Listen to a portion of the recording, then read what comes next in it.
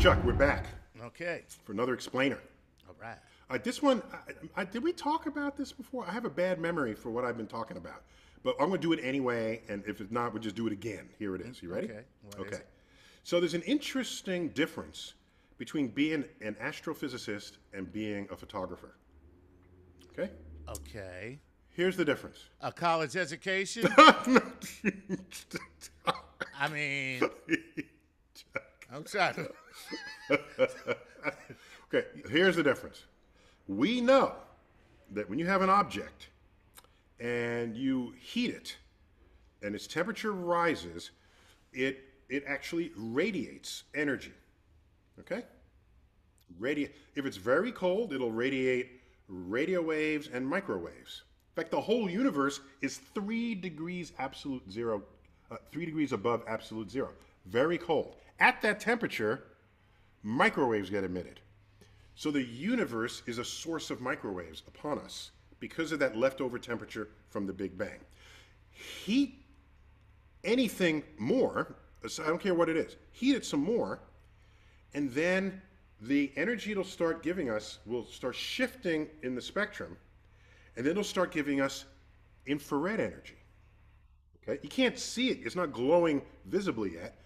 But if we have sensors that are not our eyes to detect infrared, you know what it's called?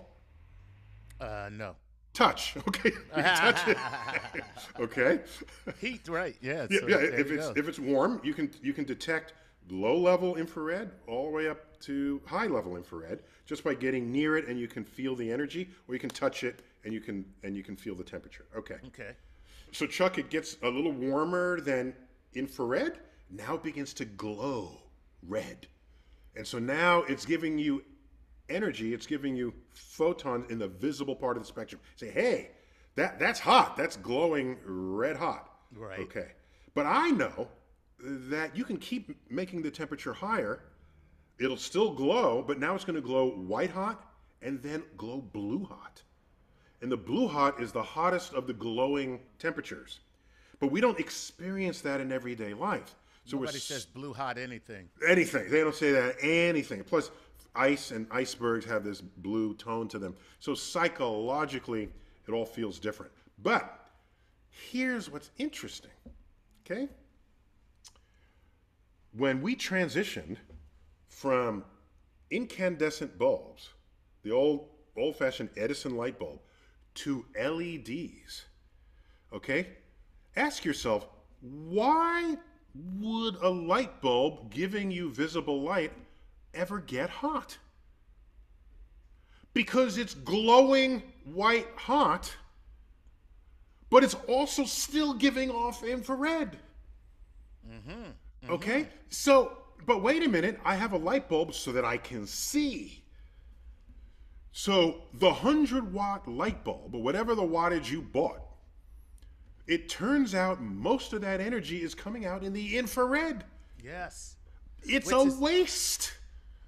Which is why they would always say on the package, it would say, um, wait until wait for whatever you know however long before changing the light bulb because so many people be like like the light bulb would blow out they would go get another light bulb come back well, go to change it and burn their hands that's how hot the bulb was It's a complete waste of everybody's energy.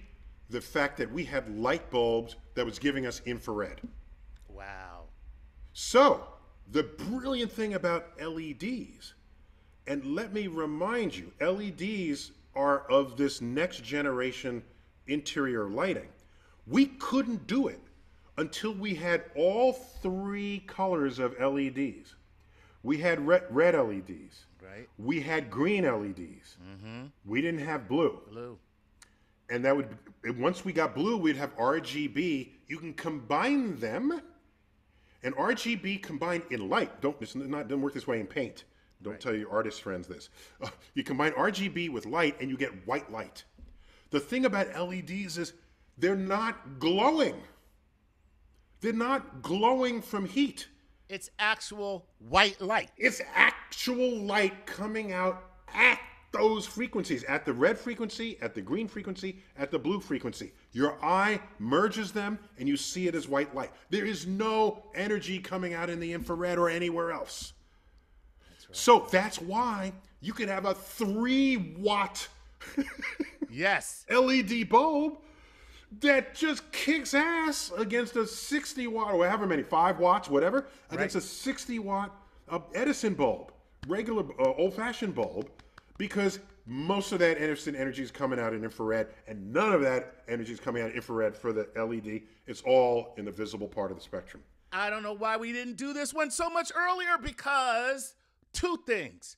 And it's so exciting that you just actually did everything you just did and related it to light bulbs.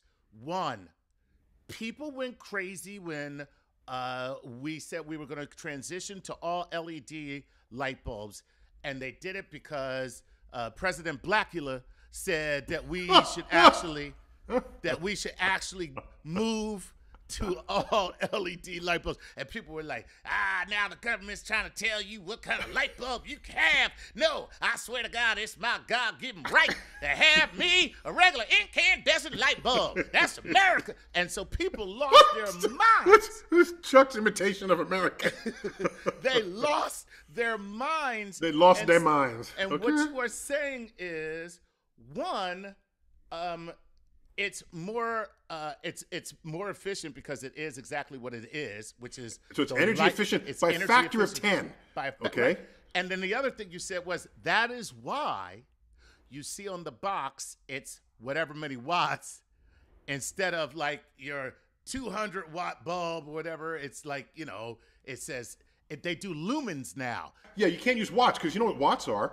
Watts is not the measure of the brightness of anything. Right. Watts is the measure of how much energy, the rate at which it's consuming energy. Ex- And and since we all had the same light bulbs, you could compare watts and say that one is, you know, twice whatever. You you had you had some sense of that. Right.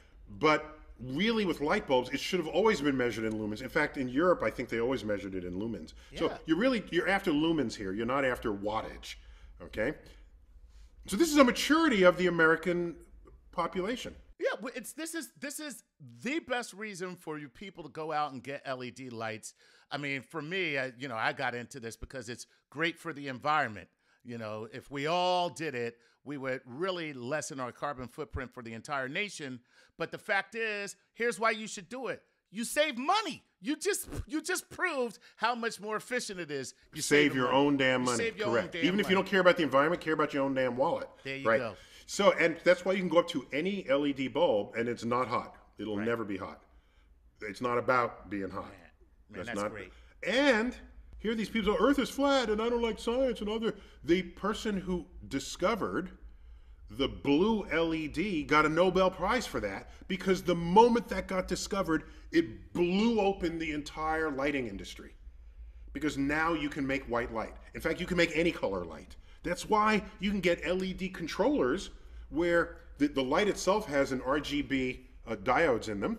Um, and you can just control the ratios of those and get any color you want. And so you can. It- the Empire State Building is lit by these things, okay?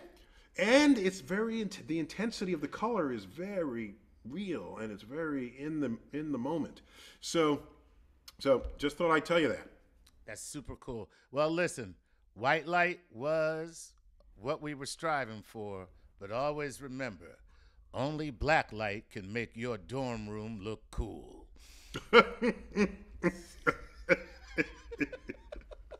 Oh, by the way, so black light, just to be clear, is an ultraviolet light, but the part of it you see is the violet.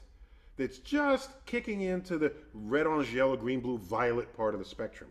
You can see that, but that's not why you have it in your dorm room. You have it because the ultraviolet light interacts with the pigment in the pictures on your wall, the posters, and it forces the pigment to glow. Okay? And it, it, it, it's, it's, it's called phosphorescence, right? And so that high energy light that you can't see, the pigment can't see, it absorbs it and then gives it back to you in visible light, and it looks like the paintings are glowing. So, in a sense, it is black light. It is light that you can't see. Nice. Yeah. All right. Well, this was great. You got it, Chuck. So next time you walk by a, a, a, an LED, just pause and say, "Thank you, science." There you go. Just say that anyway. say, that, say that anyway. Just say that anyway. Wake up in the morning, take a deep breath. Thank you, Thank you, science. science. I should tweet that. I'm going to do that. Let me see if I can start a movement.